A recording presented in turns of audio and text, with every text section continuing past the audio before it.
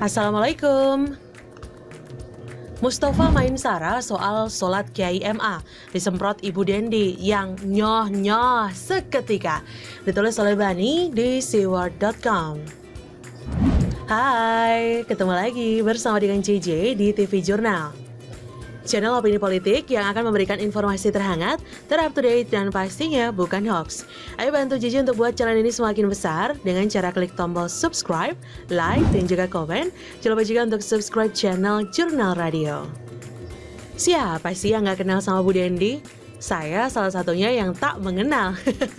Mengenalnya hanya sebatas scroll handphone di Instagram soal kasus tabur-tabur uang di hadapan perempuan lain yang dituduh pelakor. Atau apa ceritanya yang saya tidak mengikuti? Mungkin banyak dari kalian yang lebih fasih dan atau lebih dekat soal biografi Bu Dendi. Selain soal pengusaha waralaba minuman anyokla tersebut. Ibu Dendi yang mendadak jadi seleb karena menghambur-hamburkan uang di depan wanita yang membutuhkan itu kini kembali bersuara.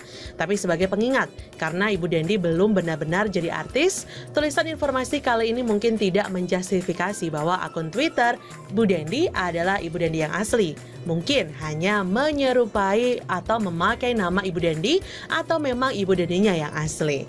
Ya, Ibu Dendi menyemprot Mustafa Nahra. Kita tahu Direktorat Relawan Nasional BPN Prabowo Sandiaga Uno, Mustafa Nahrawardaya, menyoroti cawapres nomor urut 1 Ma'ruf Amin yang salat dalam posisi duduk.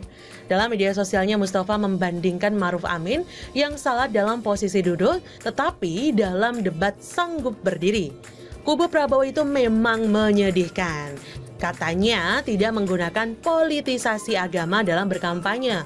Apakah cara-cara kampanye di media sosial seperti itu memang menjadi modal kampanye kubu Prabowo Sandi? Sungguh sangat tidak mencerdaskan. Dan pada faktanya sampai sekarang mereka terus melakukan hal keji soal politisasi agama. Seorang kiai ulama dihinakan oleh Mustafa Nara yang bahkan keabsahannya pun patut dipertanyakan. Sudah setinggi apa derajat keagamaannya dia dibandingkan dengan Kiai Ma'ruf? Kubu Jokowi bisa lebih parah kalau mau mempermainkan Sarah. Kita tentu tidak lupa capresnya Prabowo joget-joget waktu perayaan Natalan. Ya, mendingan saat walaupun dalam keadaan duduk. Allah juga tahu tentang kemampuan hambanya dalam beribadah. Soal sholat itu urusan personal yang menjadi tanggung jawab dirinya dengan Allah. Apakah merugikan dirinya dan juga masyarakat? Apakah Mustafa Nara tahu kondisi kesehatan Abah Kiai Ma'ruf? Tentu tidak, bukan? Atas dasar-dasar inilah muncul kontra yang begitu besar dari netizen Indonesia. Salah satunya adalah Ibu Dendi lewat cuitannya di Twitter. Menurut humor politik, kalau Bu Dendi sudah turun gunung, gak cuma akun Tova yang bisa dibeli. Akun Tong Fang sekalian bisa dibeli. ulama beneran direndahin, ulama jadi-jadian macam Sandiwara Uno dipuja. Dasar pemuja Prabowo. Hari Minggu Prabowo Jumatan di mana? Orang tua sering bermasalah dengan persendian kaki. Ibu mertuaku mampu jalan jauh dan berdiri, tapi saat sholat selalu duduk karena masalah dengan persendian lututnya. Ed akun Tova tidak perlu nyinyir. Mungkin suatu saat bisa mengalami sendiri, biar tahu rasanya dan biar segera bisa bertobat. Capres hasil ijtima ulama, ayolah tes mengaji, tes jadi imam sholat, biar berdua nggak pura-pura Islam demi dunia. Dosa loh ya, bagi kubu Prabowo itu nggak ada, pasti surga. Jadi mereka yang bawa-bawa janji surga ke dunia, justru sekarang perlu dibuktikan kredibilitasnya. Mau mengajak kami bermain sara? Ayo aja sih pribadi bahkan bisa lebih parah. Tapi kan ya kita nggak rendah, cukup Ibu Dendi turun ke lapangan media maya mendamper langsung akun Tova. Meredam kala debat dengan isu lain sudah biasa. Kita jangan mau tertipu karenanya. Mengajak golput adalah salah satu cara. Golput, golput budak khilafah dan free thinker codot ini perlu dibongkar rekam jejaknya supaya orang tahu afiliasi mereka memang bukan untuk Jokowi. Lihat saja banyak konten-konten sok netral dan ajakan golput mereka selalu bermuara pada grafis dan narasi dukungan ke Prabowo. Dua skenario, golput dan agama.